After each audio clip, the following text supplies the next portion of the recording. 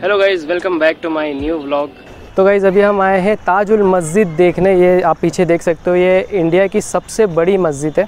बहुत लोगों को वैसे गलत फहमी है कि जो दिल्ली की जामा मस्जिद है वो सबसे बड़ी है। लेकिन असल बात ये है कि सबसे बड़ी इंडिया की जो मस्जिद है वो ये है ताजुल मस्जिद। और वर्ल्ड में ये थर्ड टॉप थ्री में आती है सबसे बिगेस्ट मस्जिदों में।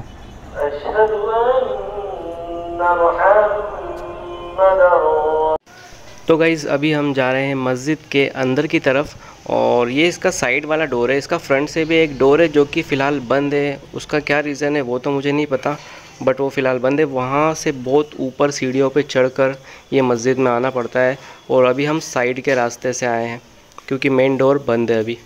तो फाइनली अब हम अंदर एंटर करने वाले हैं और अभी नमाज़ का टाइम है, असर की नमाज़ का, इसीलिए काफ़ी लोग आए हुए हैं। फ़िलहाल अभी मैं आपको मस्जिद दिखाऊँगा, पहले हम शूज़ निकाल देते हैं।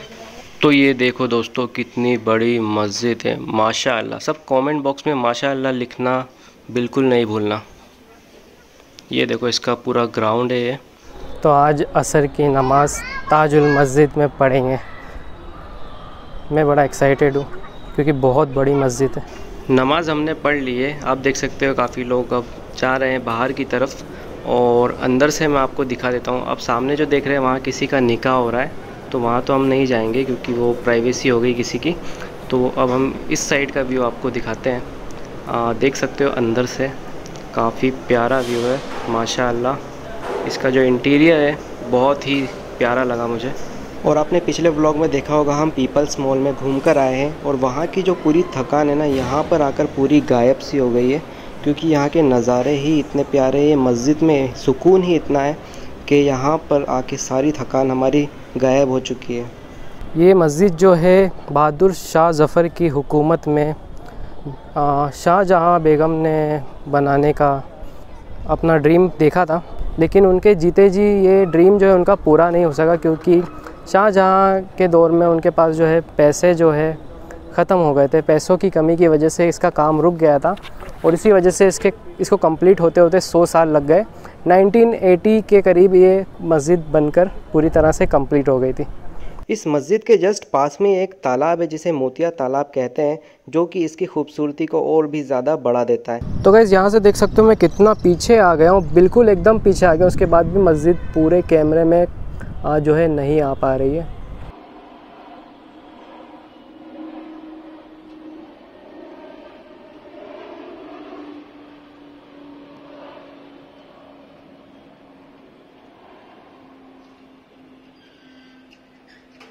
तो दोस्तों, सामने जो देख रहे हो ना, ये इस मस्जिद का मेन दरवाज़ा है। फ़िलहाल अभी किसी रीज़न्स की वजह से इसे बंद कर दिया गया है। ये मस्जिद जो है मेन रोड से काफ़ी ऊंचाई पर है तो बहुत सारी सीढ़ियाँ चढ़ने के बाद ये मेन डोर तक हम पहुँचते हैं और उसके बाद यहाँ से मस्जिद में पहले एंट्री होती थी। अभी उसको बंद कर दिया गया, अभी हमने वाले दरवाज़े से एंट्री ली है।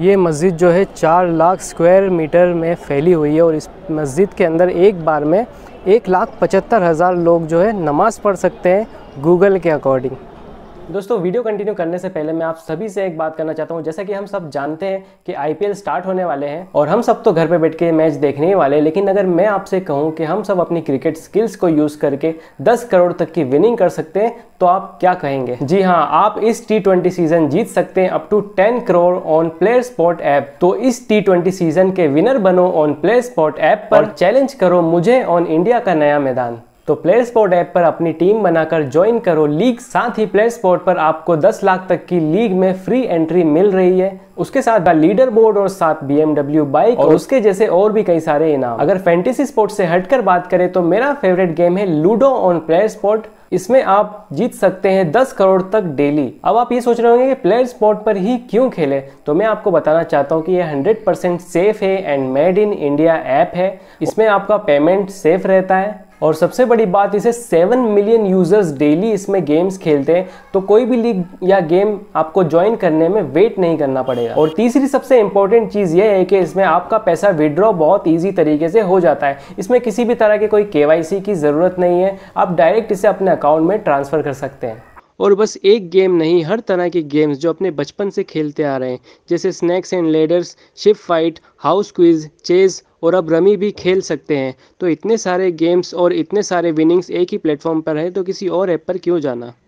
और अब तो प्ले स्पोर्ट पर नया रमी गेम भी आ गया है। तो डाउनलोड करें फटाफट प्ले स्पोर्ट ऐप डिस्क्रिप्शन में से और यूज़ करें मेरा कूपन कोड प्लेस 200 जिससे आपको मिल जाएगा दो सौ तक का फ्री साइन अप बोनस जिससे आप मुझे चैलेंज कर सकते हैं। तो हो जाए एक लूडो का गेम तो मेरे साथ खेलने के लिए और 10 करोड़ तक का इनाम जीतने के लिए डाउनलोड करें प्ले स्पॉट ऐप। लिंक आपको मिल जाएगा नीचे डिस्क्रिप्शन में। बेगम शाहजहां ने औरतों की नमाज़ पढ़ने के लिए भी इस मस्जिद में अलग से जगह बनाई है।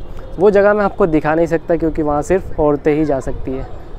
तो गाइज़ अभी हम मस्जिद के बाहर की तरफ़ है। बाहर का गार्डन है। और ये मस्जिद है। अब हम जा रहे हैं कहीं और। तो गई मस्जिद से हम निकल चुके हैं। मैंने जैसा कि आपको बताया था, हमें शादी में आए तो पूरा दिन हमने घूम लिया है। अब हम सीधा शादी में जाएँगे। तो दोस्तों अभी अभी हमें पता चला है कि जहाँ पर हम शादी में जा रहे हैं लेक व्यू गार्डन उस गार्डन का नाम है। वहाँ से पास में एक बहुत बड़ा लेक है। तो पहले हमने सोचा कि हम वो लेक देख लेंगे, उसके बाद हम शादी में जाएँगे। तो चलो, पहले वहाँ चलते हैं। और वहाँ पर वीआईपी रोड भी है तो भोपाल का वीआईपी रोड भी काफ़ी ज़्यादा फ़ेमस है। तो वो भी हम देखेंगे। तो गाइज़ अभी हम आए हैं कमला पार्क और यहाँ से काफ़ी बड़ा लेक है। यहाँ से व्यू बहुत प्यारा है। अभी अंधेरा हो गया है तो पता नहीं आपको ठीक से दिख रहा है या नहीं बट हाँ बहुत अच्छा है।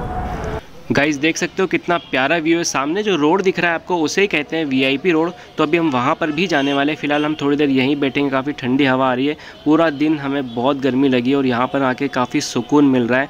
तो थोड़ी देर हम यहीं पर बैठने वाले हैं। तो गाइज़ अभी हम आए हैं राजभोज सेतु ब्रिज पे।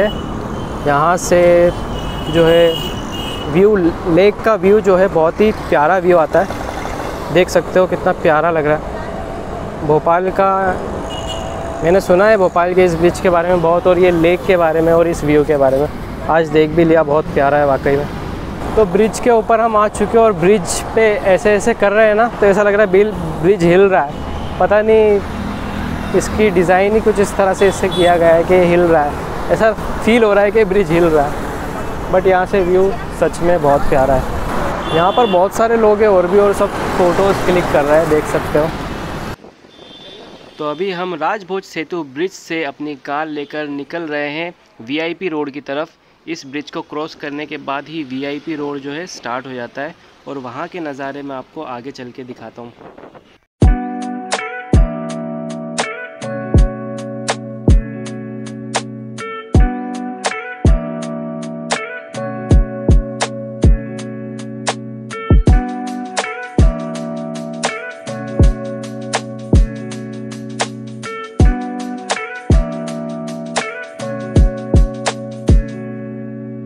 तो दोस्तों, आ गए हैं हम भोपाल के वीआईपी रोड पर।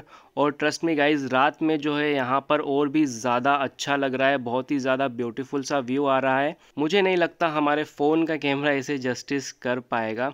यहाँ पर कोई प्रोफेशनल कैमरा होता तो ज़्यादा अच्छे से जस्टिस कर पाता। बट हाँ अपनी रियल आँखों से मैं देख रहा हूँ। सच में बहुत ही ज़्यादा प्यारे नज़ारे हैं और व्यूज़ हैं। तो गई शादी में हम आ गए थे रेडी होकर। ये हॉल था। यहाँ पर शादी थी और शादी पूरी अटेंड करके अब हम जा रहे हैं अपने घर पे जा रहे हैं। अब देखते हैं मेरी फूफो के घर पे जा रहे हैं हम। और शादी का पूरा प्रोग्राम ख़त्म हो चुका है। हम इतना ज़्यादा थक गए थे कि मैं शूट ही नहीं कर पाया। और शादी अटेंड करना होती, सबसे मिलना होता है तो शूट करेंगे, सबके सामने तो अच्छा नहीं लगता। तो इसीलिए मैं अब आपको अपडेट दे रहा हूँ कि शादी फिनिश हो चुकी है। देखो, सब लोग जा चुके हैं और अब हम भी जा रहे हैं, आराम करेंगे। बहुत ज़्यादा थक चुके हैं। आज बहुत ज़्यादा घूम लिया हमने पीपल्स मॉल में और मस्जिद भी देखी। आप, आपने देखा ही व्लॉग तो बहुत ज़्यादा घूम लिया तो बहुत ज़्यादा थक गया अब सीधा घर जाके आराम करेंगे। तो इस व्लॉग को मैं यहीं पर एंड करता हूँ। मिलेंगे नेक्स्ट व्लॉग में। तब तक के लिए गुड बाय टेक केयर मेरे को तो ऐसे धक धक हो रहा है